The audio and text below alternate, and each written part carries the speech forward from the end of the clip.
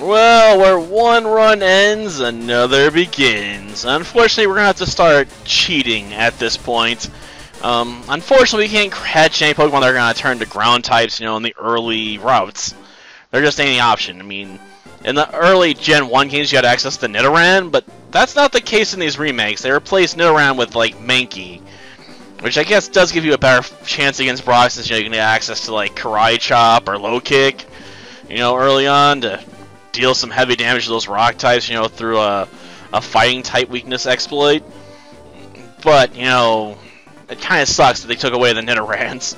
Because that's what I'd rather go with. But no, I can't catch them until I get access to uh, under Route 3. So we're going to have to cheat ourselves, you know, a Nidoran male, at least one, the power up.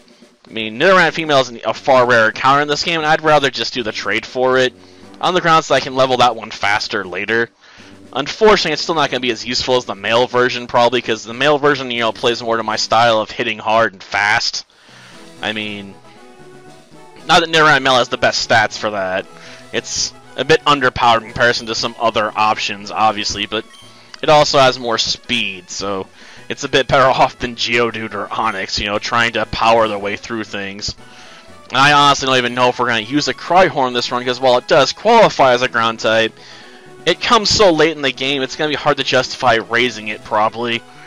I mean, that's one of the biggest things I find with these uh, mono runs is I can pick up early. Usually ends up becoming the focus of the team, almost always, because it's the thing I can level up the most. And therefore I'll have the most, you know, time and energy spent into it, and not want to deal with, you know, a late game addition, unless it's like a really strong Pokemon like Tauros or something, where, you know, it's not going to add any additional, you know, weak spots. Like, you do not mess with Tauros, man. Like, in Gen 1, it was the king of the ring. And it's still pretty good in Gen 2 and 3. I mean, sure, its star is definitely no longer as shines as bright as it used to. But, Tauros used to be a contender back when Hyper Beam was a lot more broken. Well, since I don't care to look up the name of a sky god, we shall just call you Skylar. After all, you're not worthy of being a god. For I will defeat you many, many times. Your very own Pokemon legend is about to unfold. And yeah, at some point we'll probably do, like, ghosts and stuff too. Though I imagine the ghost run's gonna drive me up the wall because we're gonna have to deal with so many normal types, you know? It's gonna be like, ugh, curse. Like, the only move we can really pick up for uh, Gastly in Gen 3 is, like, Thunderbolt. And don't get me wrong, Thunderbolt's a solid move. It really is, but it does mean, you know, I'm not going to have an answer to... Well, I guess with ground types I can always use, like, Nightshade. So it's not as bad as it could be. Albeit, Nightshade is a bit interesting, because it was glitched in Gen 1.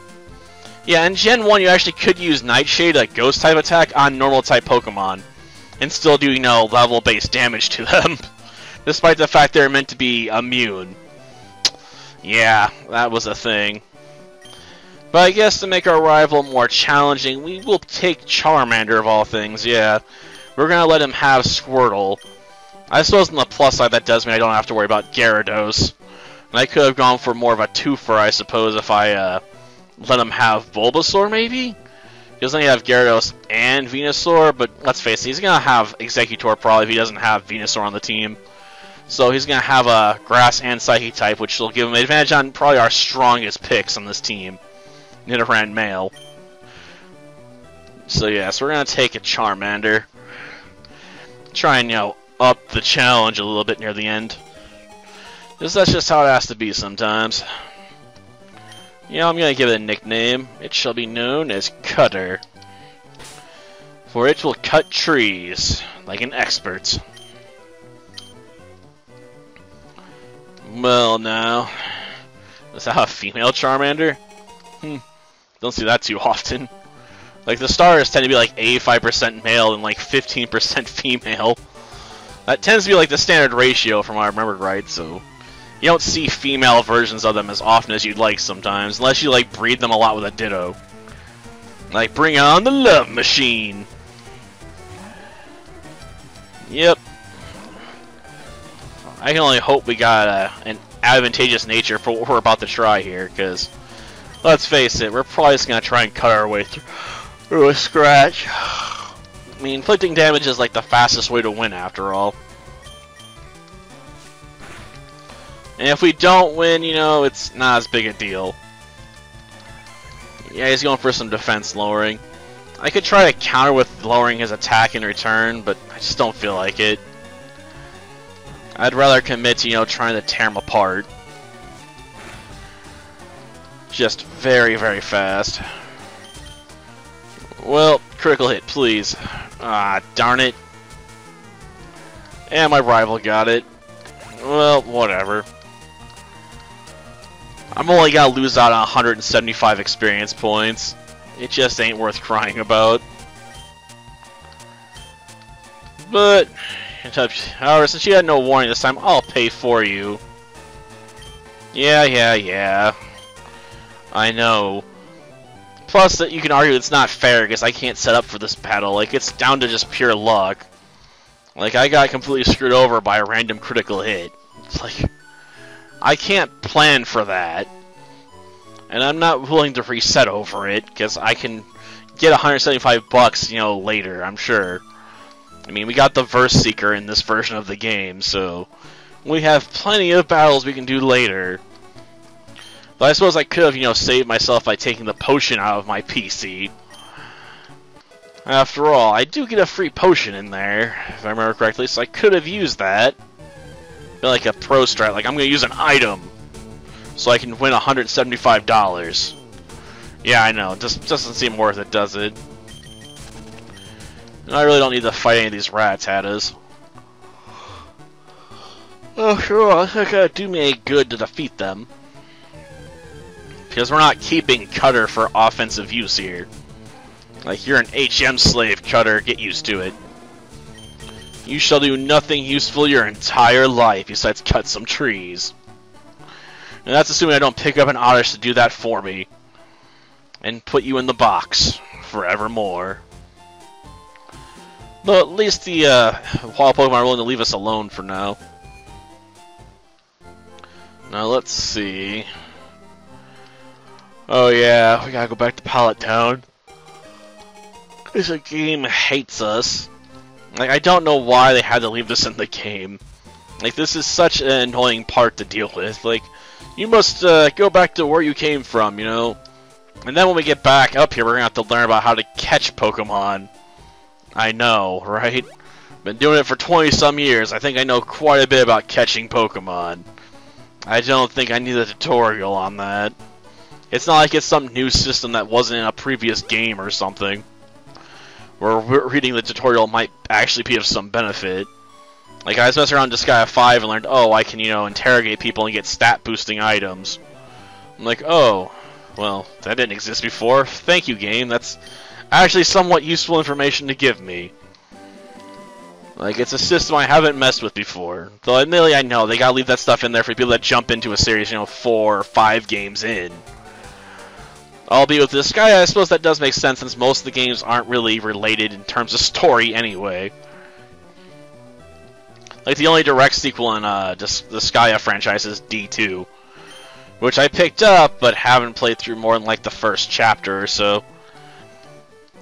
Though I have to admit, I do love the cheat shop in those games, if only because it allows you to raise the levels of enemies without having to pass tons of bills. It's just a lot more convenient. Because in the early games, you actually could raise enemy levels, but you'd have to pass a bill and give up mana for it. And then spend more mana to lower them back to normal after you've done that. You know, if you want to fight enemies at their normal levels, you can get through uh, items and stuff easier to power level up that stuff. Or deal with the super bosses, you know, while they're at their weakest. Because I've never really wanted to fight them after jacking them up to max before. Yeah, yeah, you go borrow a town map. I don't care. I got the map up here. I've played through this generation so many times, I know the map inside and out, basically. But we need to go back and learn how to catch a Pokemon. And since I had to suffer the indignity of seeing that tutorial every single time, my audience can stick around and see that tutorial every single time. Or quit out because let's face it, the first episode's usually one of the more boring ones in these runs because I'm not actually doing any real fighting yet. And I'm not really offering the greatest, most detailed uh, plan out there either because let's face it, I can't access breeding in this game until the post-game content, so I can't exactly be like, oh, I'm gonna do this or that with the move set, you know, and make it really cool by breeding this move on there somehow. Like, I can't do that. like in Gen 2, like that's one of my plans with the flying and ground runs I want to do uh, revisits for. Like, I want to do some very selective breeding on, you know, Spearow to give it Tri Attack, and do breeding on Dodrio to get one with Flail. Because let's face it, Dodrio's got, you know, high speed and a pretty solid attack stat. Especially when it evolves into Dodrio. But it has really poor defenses, so something like Flail really helps it out. The same cannot be said for, you know, certain other Pokemon, you know? Like, having Flail as a backup's always good, in my opinion. That's why that Red Gyarados is so special, because it can have Flail and other moves, you know, that would only get if you evolved it from a Magikarp way late. Like, it has Thrash and Flail, which is impossible because you can only get Flail on a Gyarados if you catch it as a Gyarados, and you can only get Thrash if you evolve a Magikarp at like level 30, because it learns it then, I think. No, wait. Magikarp learns Flail at level 30. Yeah. And you can catch a Gyarados with Thrash. I got that backwards, sorry. I'm misremembering slightly. Apparently, you know, I'm, I'm losing myself in all my Pokemon facts now. Well, that'll do for this run gonna have to go cheat myself up a Nidoran. Yeah, I know, I could give myself a Geodude, but just like, eh, we'll go with the first ground type Pokemon we can catch, or Pokemon that can evolve into a ground type, and that would be Nidoran, male or female. And male is more predominant in this in this uh, game, so that's what we're gonna go with. We're gonna go with the Nidoran male for our first Pokemon, and then evolve it as quickly as possible. Till next time, then. See ya.